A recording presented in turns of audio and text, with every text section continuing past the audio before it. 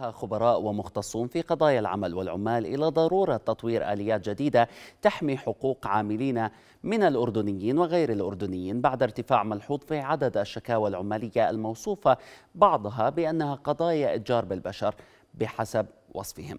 وفيما تتعدد أوجه الإتجار بالبشر في دول عربية وغربية فإن غالبية هذه القضايا في الأردن يأتي معظمها على شكل انتهاكات لحقوق عاملين في مختلف القطاعات تاليا نستعرض معكم أحدث الأرقام حول هذا الملف.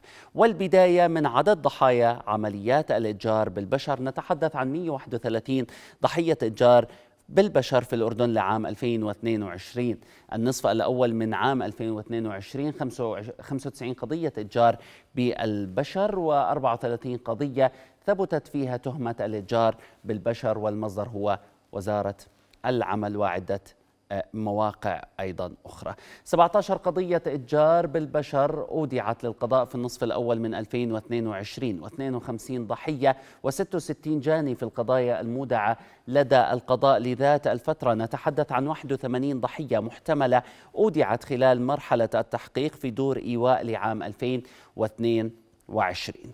أما عدد الشكاوى العمالية الواردة لوزارة العمل نتحدث عن 14 ألف شكوى عمالية في عام 2022 وأكثر من 13 ألف شكوى منها جرى تسويتها مع أصحاب العمل. 347 شكوى قيد الإجراء و87 شكوى خاصة بعمالة الأطفال.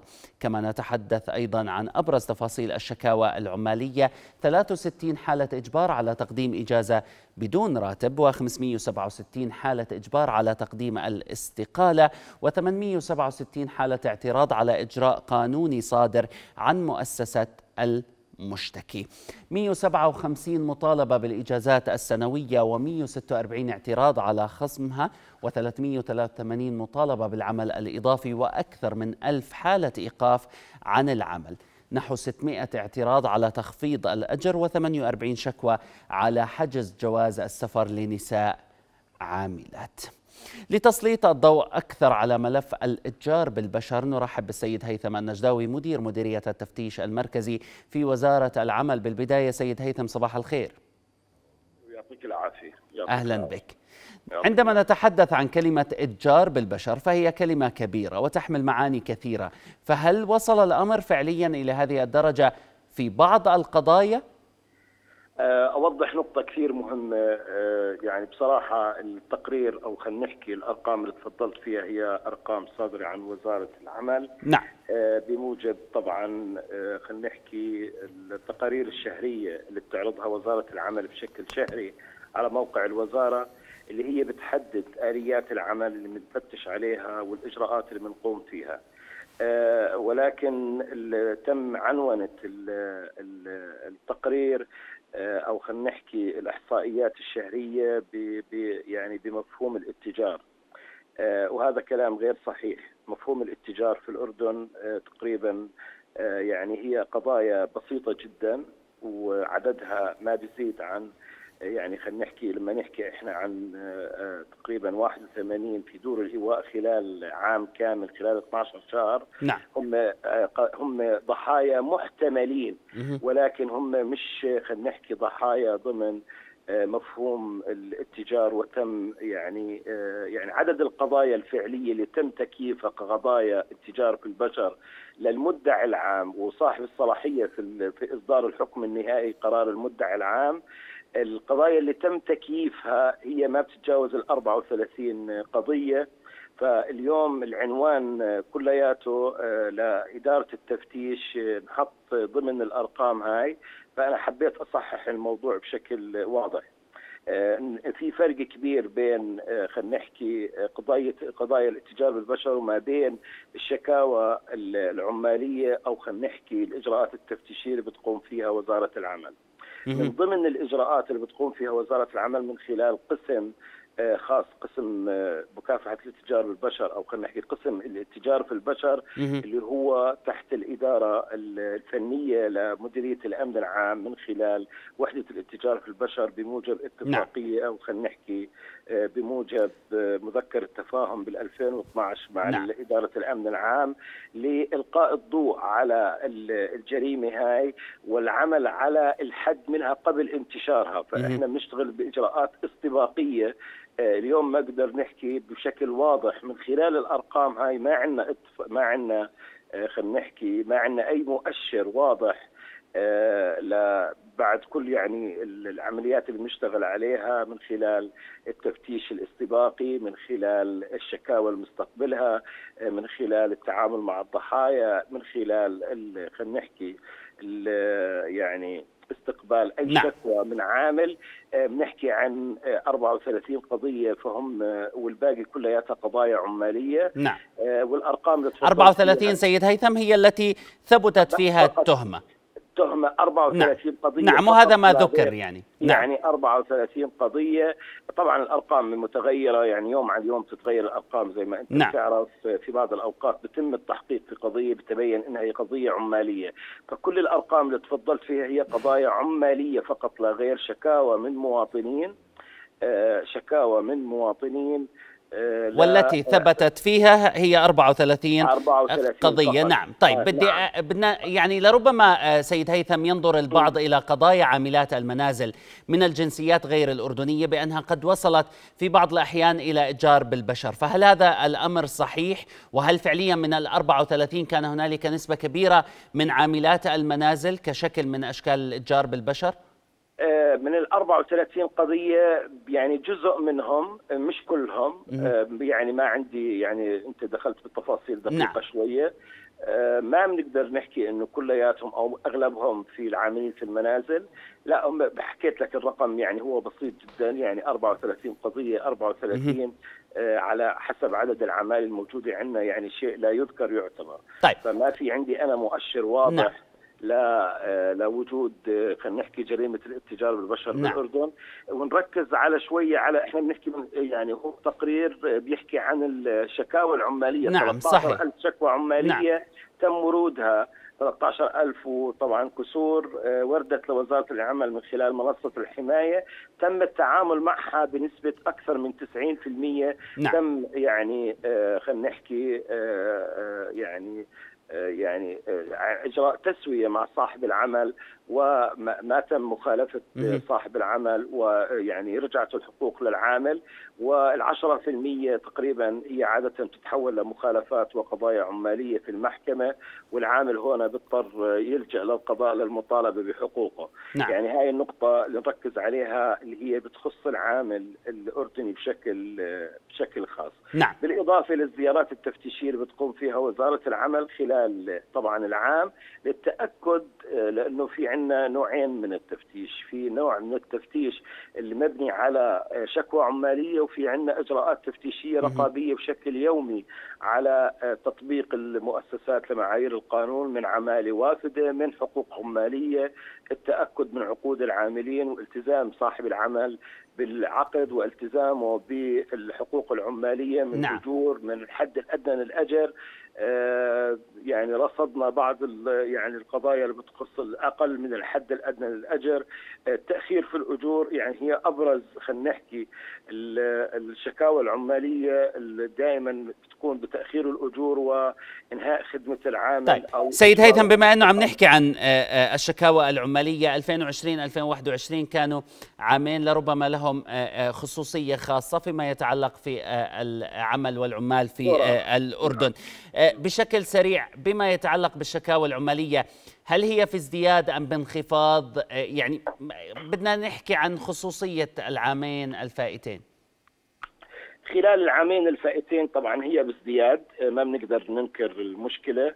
لأسباب كثيرة منها أزمة كورونا الأزمات الاقتصادية يعني التعثرات اللي صارت عند بعض أصحاب العمل بالسيوله والتوفير خلينا نحكي وحاجته للعمالة في بعض الأوقات نتيجة التوقفات لفترات طويلة.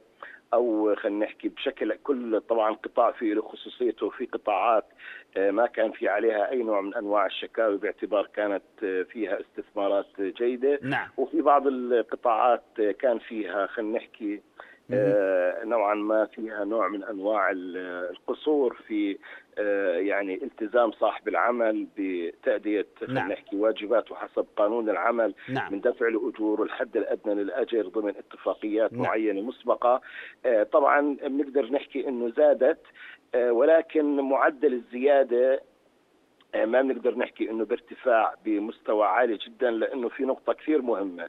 اليوم يعني اتمتت الشكاوى العمالية وإجراءات التفتيش في وزارة العمل زدنا معدل رصد الشكاوى العمالية. فصار في إقبال كبير من المواطن ومن العامل بأنه يتقدم بشكوى مهما كانت بسيطة نعم. لو نعم. مجرد يعني صار أي تعرض لأي شيء بإمكانه من خلال تليفونه يتواصل مع وزارة العمل فهي نقطة كثير مهمة بأنه وهذا يصب بمصلحه ونو... نعم, نعم. يصب بمصلحة الأعداد. العامل رفعت الأعداد نعم ولكن اليوم إحنا خلال يعني الست أشهر السابقة بنقدر نحكي في استقرار واضح في. معدل خلينا نحكي الشكاوى العمالية بشكل شهري ولأنه لما نستقبل في بعض الاوقات بحدود ال 1200 شكوى شهريا جزء كبير منها بكون نعم. مش ضمن اختصاص وزارة العمل في يعني نعم. العامل في بعض الاوقات ما عنده يعني عنده جهل بالقانون سيكون يعني سيد نعم. هيثم سيكون لنا في الأيام القادمة حديث مفصل حول هذا الموضوع بدي أشكرك جزيل الشكر مدير مديرية التفتيش المركزي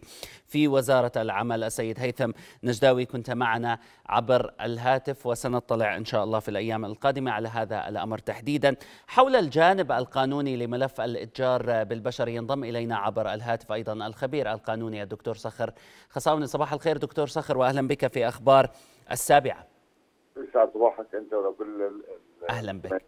دكتور صخر نتحدث عن جوانب عديدة للإتجار بالبشر. بعضها تغيرت أشكاله والبعض ما زال على حاله. فهل ما يسجل تحت هذه الجوانب في الأردن خطير بطبيعة الأمر؟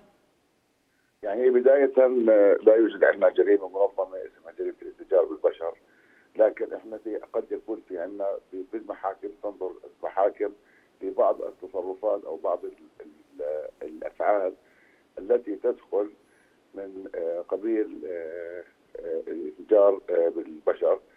وخاصة بالقضايا المتعلقة باستخدام العمالة الوافدة واستخدام يعني هذه الجزء اللي بيتعلق باستخدام العماله الوافدة وعملية نعم.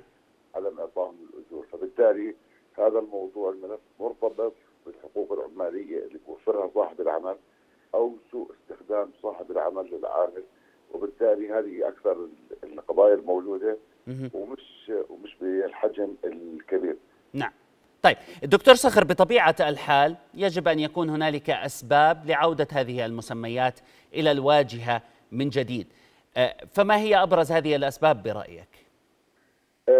بداية اللي هي عدم وعي عند أرباب صاحب الأرباب العمل بكيفية استخدام العمال والمستخدمين وحول دفع الأجور وحول إيجاد أماكن مناسبة للإيواء وعدم إعطائهم فبالتالي الموضوع الأول والأساسي هو موضوع التوعية القانون التوعية القانونية حتى نتجنب مثل هذه الممارسات. فمثلا على سبيل المثال استخدام عاملة على اسمي وبالتالي أنا بعطيها لحضرتك تستخدمها ببيتك نعم. هذه أحد صور الاتجار بالبشر اللي معاقب عليها بقانون الاتجار بالبشر وأيضا معاقب عليها بوجب قانون العمل. فبالتالي الموضوع يحتاج إلى توعية. ويحتاج إلى إعطاء الحقوق وإعطاء الناس يعني كيفية استخدام نعم. هذه ال ال يعني بمعنى إنه يجب تطبيق أحكام عقد العمل بحذافيره حتى لا يتحول هذا التصرف إلى طريقة من طرق الاتجار بالبشر. طيب يعني أنت ببداية حديثك دكتور صخر تحدثت بانه جميع ما يندرج تحت أو البعض ما يندرج تحت هذا المسمى لا يرقى بأن يكون إلى جريمة منظمة بالإتجار بالبشر، بس أنا بدي أنتقل معك إلى موضوع وهو إضافة بنود قانونية تحت قانون الإتجار بالبشر. كالذي أضيف أخيرا يعني بما يتعلق بالتسول هل له دور وهل يجب إعادة النظر بالبنود القانونية تحت قانون الإتجار بالبشر حتى لا نسمع بهذه الكلمة بشكل كبير لقضايا لربما تعتبر قضايا مختلفة عن الإتجار بالبشر؟ سيدي قضايا التسول أو ظاهرة التسول أصبحت موجودة الآن عندنا هي ظاهرة منظمة بحيث أنه بيتم استخدام القصر وأصحاب الإعاقات وأصحاب الأطفال من قبل مجموعة من الأشخاص وبالتالي وبالتالي استخدامهم من أجل أعمال التسول فبالتالي الآن هذا الطفل أو القاصر الموجود تحت آه، سيطرة هذا الشخص اللي بشغله وبيأخذ الحصة منه. هذا جزء لا يتجزأ من عملية استجابة البشر. فبالتالي لابد من وضع خطة لمكافحة التسول نعم وهذا هذا ما تقوم به آه. وزارة التنمية نعم. الاجتماعية. وبالتالي آه آه هذا الموضوع أخطر من الموضوع اللي نتحدث عنه اللي جرائم اتجاه البشر أنا قاعد اتحدث عن ظاهرة اجتماعية نعم. موجود موجودة. فبالتالي فهي بتشكل جريمة اتجاه البشر إذا كان فيها استغلال للأطفال والقصر واستخدامهم من أجل الحصول على الاموال نعم. وبالتالي يعاقب عليها. نعم. نعم بدي أشكرك جزيل الشكر دكتور صخر خصاونة الخبير القانوني. كنت معنا عبر الهاتف.